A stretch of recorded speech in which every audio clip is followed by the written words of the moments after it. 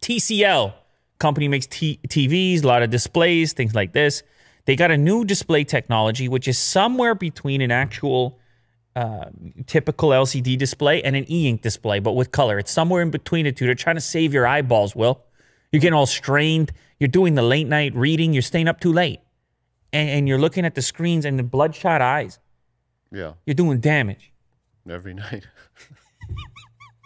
You're doing damage, yeah. man. It's yeah, it's hard, man. It's really hard. Yeah, put it down. Put the device I down. can't. Well, anyway, so I don't know if you ever mess around with an e-ink display, but Yeah, they're great. so the thing about them, they're reflecting light, right? Whether it's daylight or whether it's a lamp or something, you're you're.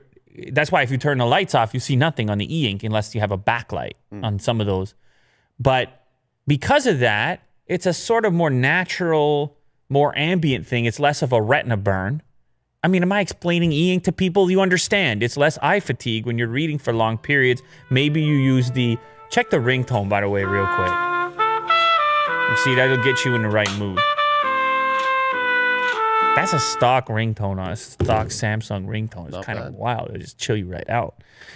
Uh, everybody knows when you're reading for long periods of time on something like a Kindle, there's advantages to the e-ink. Well, the problem with e-ink, it's pretty low tech, man. It's just black and white in most cases, and and it, you know has some limitations for as far as details concerned and things like this. So advantages and drawbacks. I remember we did an e-ink smartphone at one time. Yeah. How about that for the notifications? Anyways, a lot of people have been trying to figure out the color e-ink thing. And you were looking at an article the other day. I saw people read, they were reading the Marvel comics with the colored e-ink. And that's a pretty cool look. What this TCL one, they claim it's even better. On the TCL one, they claim it's going to operate a lot like an LCD display, but but but a lot of the light that shows up on the screen is actually going to be reflected from the light source in the space, which is then going to give you a much healthier eyeball experience, supposedly. Uh, better eye prote- protection by reducing flicker, blue light, and light output. The company said the effect is similar to e ink, calling it a combination of screen and paper. So they're targeting tablets and e readers.